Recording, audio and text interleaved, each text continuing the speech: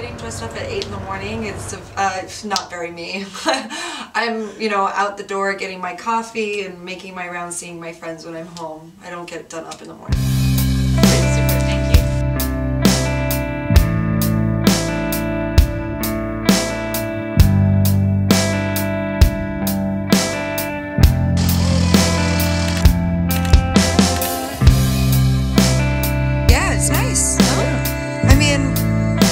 Everyday trend, right? Everyday fashion for a woman. You should go with it every day. Yeah.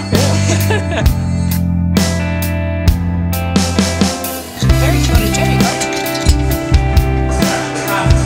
Smiling is more. Honestly, uh, The watches you're promoting here. I'm working here.